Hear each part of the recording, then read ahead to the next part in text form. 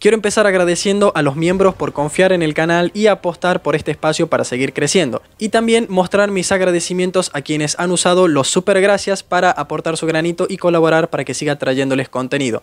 De verdad no saben cuánto empuje generan con esos pequeños gestos de cariño. Y también obviamente espero seguir cumpliendo con toda mi audiencia. Y ahora sí gente, lo que esperaban. Thor contra Zeus sin medirse, ¿quién ganaría? Para analizar esto como se debe, tenemos que considerar muchos factores, como características especiales, destrezas, armas, poderes, atributos físicos, hazañas y condiciones del entorno, ya que ambos dioses poseen una fuerza, durabilidad y habilidades sobrehumanas que los colocan entre los seres más poderosos de sus respectivos panteones. Así que vayamos primero con Thor y veamos qué ofrece. Thor es uno de los seres más poderosos del panteón nórdico en God of War, con una fuerza tan colosal que supera a todos los dioses nórdicos en fuerza bruta.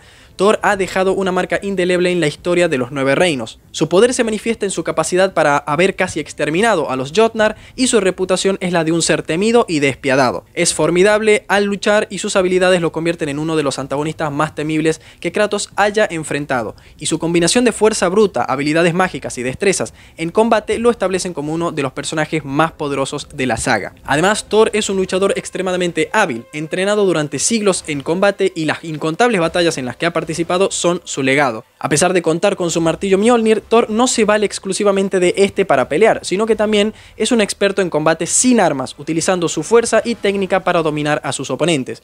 Su habilidad para ejecutar potentes golpes y maniobras demuestran su destreza en el combate físico también. Puede incluso combinar ataques físicos con descargas eléctricas y usar el martillo para atravesar el terreno de punta a punta y así acortar distancias en un instante. Como dios de la fuerza y medio gigante, Thor posee una fuerza sobrehumana que lo coloca por encima de dioses como Tyr o Baldur. Su capacidad para masacrar gigantes y luchar contra eh, Jormungander también, la serpiente del mundo, demuestra su increíble poder y aguante. Su fuerza es tal que incluso pudo dominar a Kratos en, un combate cuerpo a cuerpo directo, enviándolo por los aires y rompiendo su escudo con mucha facilidad, algo que el fantasma de Esparta jamás esperó. Thor también presenta una durabilidad excepcional, capaz de resistir los ataques más contundentes sin sufrir heridas graves y su resistencia le permite continuar luchando incluso después de recibir golpes severos y mantener su capacidad de combate durante largos periodos, a pesar de los daños sufridos. Y que no los engañe su tamaño porque Thor puede moverse y reaccionar con una velocidad sorprendentes, demostrando una agilidad extraordinaria capaz de saltar grandes distancias y alturas, y además moverse con una rapidez que desafía su tamaño. Esta agilidad también le permite sorprender a sus adversarios, apareciendo y desapareciendo de su campo de visión en un instante. Su gran resistencia le permite enfrentarse a ataques prolongados y defenderse de múltiples enemigos sin mostrar signos de agotamiento significativo. Durante el Ragnarok, por ejemplo, Thor fue a luchar contra Kratos inmediatamente luego de su pelea contra Jormungander. Un enfrentamiento que culminó con la Serpiente del Mundo siendo enviada al pasado con un último y poderoso golpe, lo cual manifiesta que Thor es capaz de luchar sin cesar durante largos periodos y mantenerse en combate incluso después de sufrir heridas graves. Como dios del trueno, Thor puede invocar tormentas eléctricas y, y manipular rayos a su voluntad. Durante sus enfrentamientos puede hacer llover rayos, imbuir su martillo Mjolnir con electricidad y generar ondas de choque eléctricas devastadoras. Además puede levitar y volar a velocidades extremas, pero sin duda su habilidad más poderosa es la furia relámpago, durante este estado iracundo, Thor se cubre de electricidad y sus ataques se vuelven más rápidos y poderosos. Esta forma le permite generar grandes ondas de choque y desencadenar tormentas de rayos carmesí, un color que denota su ira incontenible y descontrolada. Sin embargo, este atributo tiene su desventaja, ya que presenta un desgaste físico y potencial mucho más grandes para mantenerlo activo, y si la pelea se extiende demasiado, puede provocar que Thor se canse mucho antes que alcance a dar el golpe de gracia a su adversario. Ahora, en cuanto a Zeus, el rey del Olimpo es una figura de inmenso poder y dominio. Su superioridad potencial sobre los demás dioses, incluso sobre sus hermanos Poseidón y Hades, es evidente en su capacidad para desafiar al mismísimo Kratos. La clave del poder de Zeus radica en su naturaleza divina y su dominio sobre los elementos. Su capacidad para controlar la electricidad y las tormentas lo convierten en un oponente formidable. Además, su inmortalidad y su capacidad de regeneración lo hacen casi invencible. Lo único que pudo ponerle fin definitivamente fue la esperanza de Kratos, la cual usó para vencer el miedo de Zeus. Zeus posee una gama de habilidades divinas que lo convierten en alguien prácticamente imparable, como lo son su fuerza sobrehumana, que fue capaz de rivalizar directamente con la de Kratos en combates cuerpo a cuerpo y de ejercer una presión inimaginable sobre el espartano. Zeus también es extremadamente veloz y resistente, capaz de moverse a velocidades increíbles, soportar castigos físicos brutales y regenerarse de heridas bastante graves, como aquella vez que Kratos lo empala repetidas veces con la hoja del Olimpo. Como dios del cielo y el trueno, Zeus domina los elementos lanzando rayos devastadores y manipulando las tormentas a su antojo. También es inmortal y puede regenerarse de casi cualquier herida, lo que lo hace prácticamente indestructible. También posee otra amalgama amplia de habilidades divinas como la teletransportación, el cambio de forma, la creación de vida y la manipulación de la energía.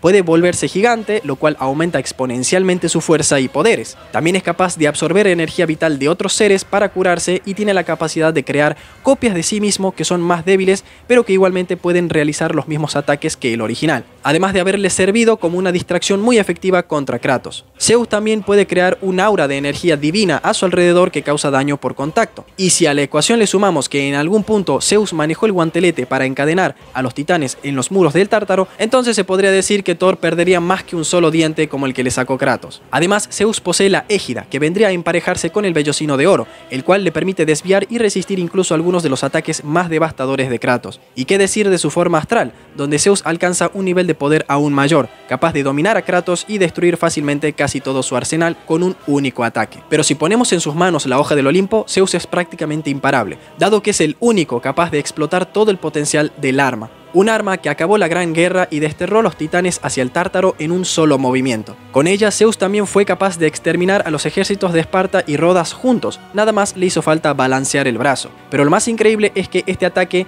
discrimina objetos inanimados de seres vivos, lo cual se demuestra cuando los soldados explotan, pero sus armas y armaduras quedan intactos. Además, los edificios tampoco sufren daño, lo cual indica que este ataque sería capaz de atravesar paredes u otros objetos sólidos, como, como si fuese un fantasma.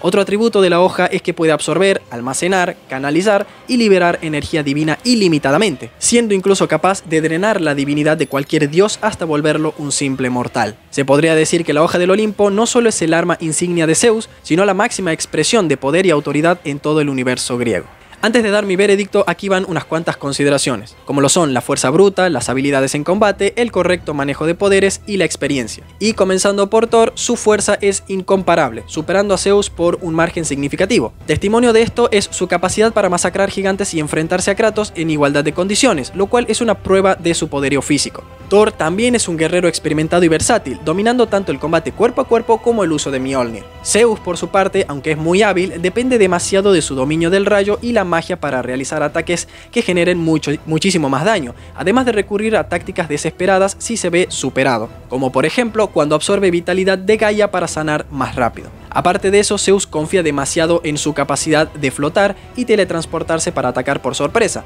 por eso sus habilidades de combate cuerpo a cuerpo son más limitadas. Ambos dioses poseen poderes devastadores, Thor controla el trueno y la electricidad, mientras que Zeus manipula el clima y los elementos. Sin embargo, los poderes de Thor son mucho más destructivos y versátiles en combate. Por ejemplo, Zeus necesitó estar en la cima del monte Olimpo para generar un rayo lo suficientemente potente como para derribar a Kratos y Gaia juntos.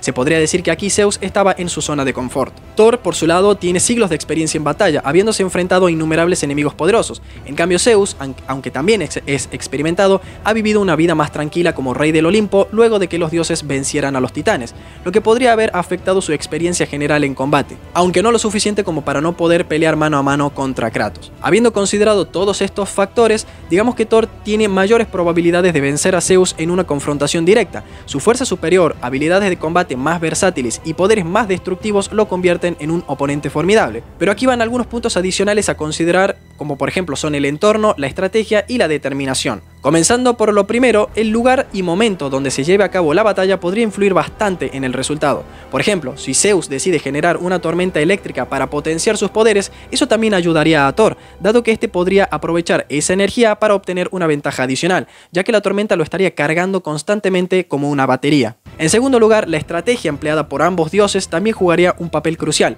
Si Zeus puede encontrar una forma de explotar las debilidades de Thor, como su orgullo o su ira, podría tener una oportunidad de victoria, aunque una muy pequeña, ya que con esto lo desbalancearía. Y por último, la determinación de cada uno también influiría en el resultado. Por ejemplo, si Thor está realmente decidido a matar a Zeus y no solo se tratase de una pelea normal, su fuerza y poder podrían ser tremendamente abrumadores, a tal punto que Zeus podría tener bastantes problemas para repelerlo. Sin duda, un entre Zeus y Thor sería épico y muy reñido, dado que ambos dioses tienen habilidades y poderes que se complementan entre sí. Sin embargo, Zeus podría tener una ligera ventaja debido a su capacidad para utilizar rayos a un nivel mucho más avanzado y no olvidemos su habilidad para controlar su forma astral en caso de ser asesinado. Y la capacidad que tiene para dominar fácilmente a su oponente en esta forma le otorgan un control estratégico considerable. Así que en resumen, aunque Thor es un combatiente formidable y con habilidades impresionantes, la versatilidad y el poder de Zeus, especialmente en su forma astral, le darían una ventaja decisiva en un combate a muerte.